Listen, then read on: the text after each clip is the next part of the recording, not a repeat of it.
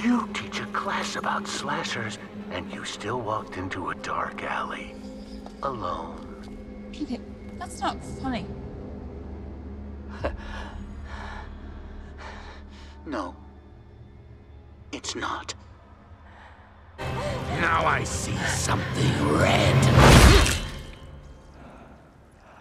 How long have we known each other?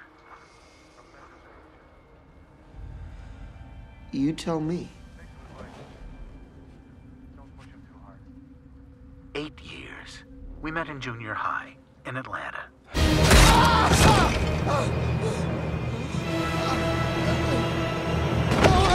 Do you feel like an animal, Jason? Like me?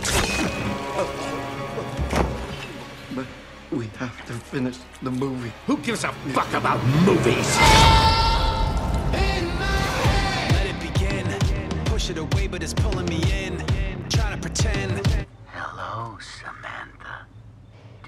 Miss me?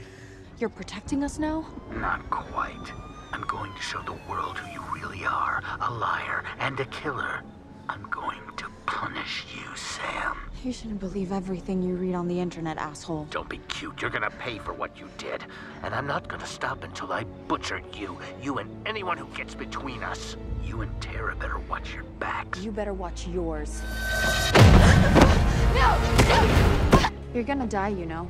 No, you're gonna die, Samantha, choking on your own blood while I hack up your sister. Unless we find you first. For a mastermind, you're not very bright. Waiting for me to call, desperately hoping I'm nearby so the police can grab me. But I'm not nearby. I'm a step ahead. Be seeing you, Samantha. Hello, Gale. Strange that you and I have never spoken on the phone. This is long overdue.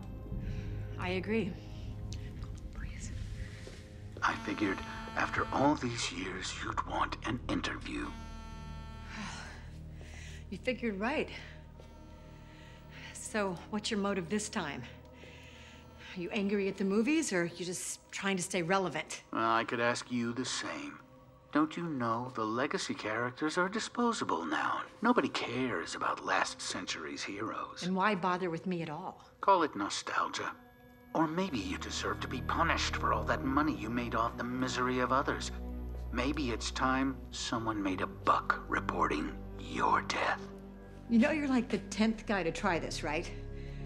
And spoiler alert, it never works out for the dipshit in the mask. Oh, but they certainly leave a mark before they go, don't they? Richie and Amber managed to butcher Dewey, carved him up like a Christmas goose. How does it feel to lose the only man who ever loved you?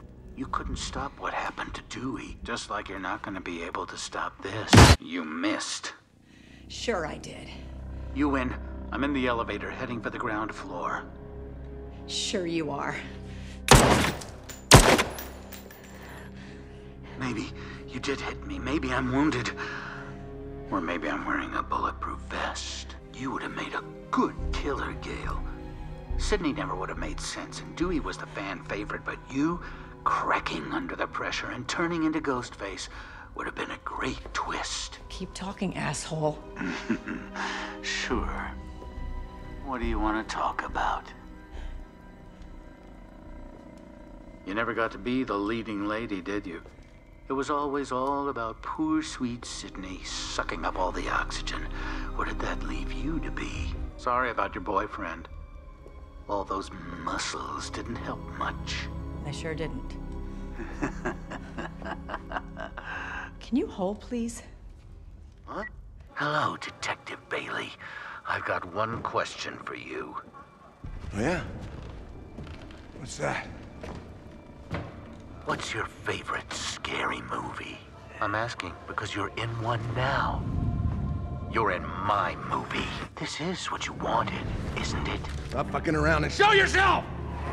Be careful what you wish for. All right, I'm a fucking police officer. How do you think this is gonna go, Sam? Who do you think they're gonna believe, huh? Probably the one who's still alive. Ah!